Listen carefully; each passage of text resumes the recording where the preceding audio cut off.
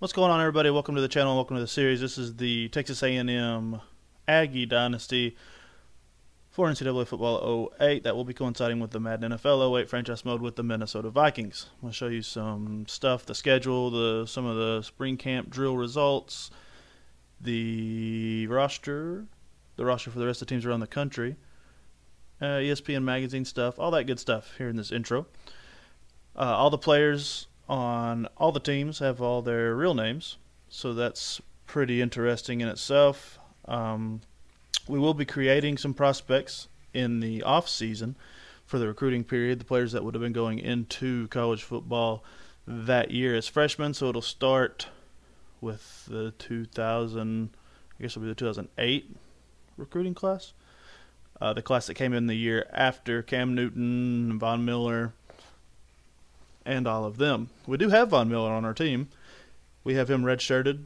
He is a freshman, and we have a lot of linebackers ahead of him. So we're going to save him for a rainy day, that being next year. You see some of our better players here getting their drills, getting the results, their attributes boosted from the drills. There's Von Miller, the, the man himself, with five points to add to him. Right now he's set as a run stopper, so I assume that'll change to a pass rusher.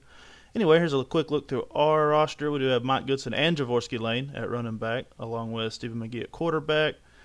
Uh, not great receivers at all in any but any stretch of the imagination. Are they very good at all? we're going to see what we can do with them. We do have Martellus Bennett at tight end.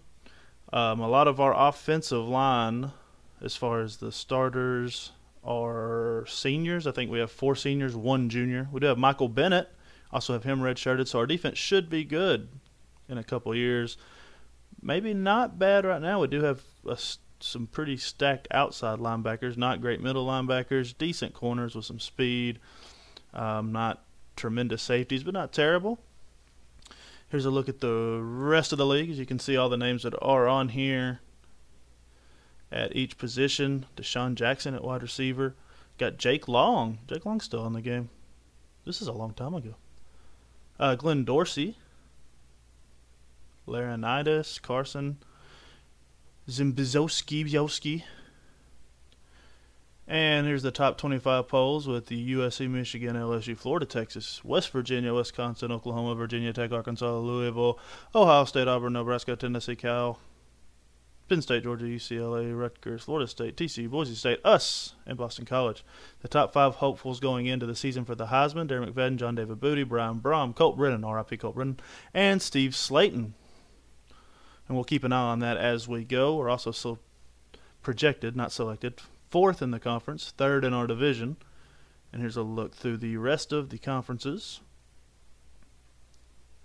And TCU ranked fairly high. SEC, you got LSU as number one, and the the mighty power stacked, powerhouse ridden Sun Belt Conference.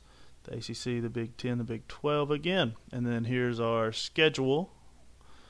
Like I said, I didn't change the schedule at all, so I think I said that earlier. I may not have said that earlier, but I didn't change the schedule at all.